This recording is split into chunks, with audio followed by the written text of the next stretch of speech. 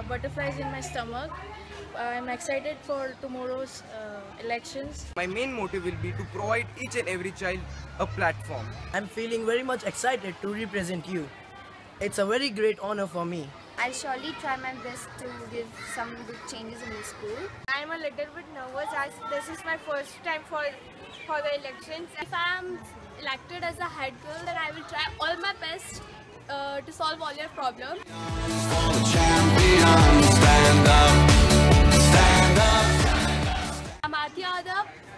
Standing. I'm standing for the head girl elections 2016 and 17.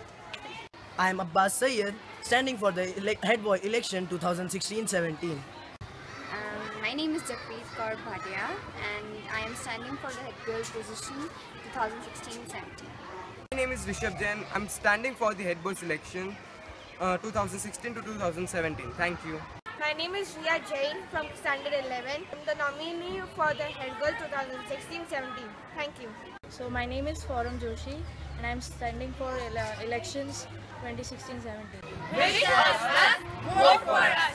Nothing less lead me to my destiny. I have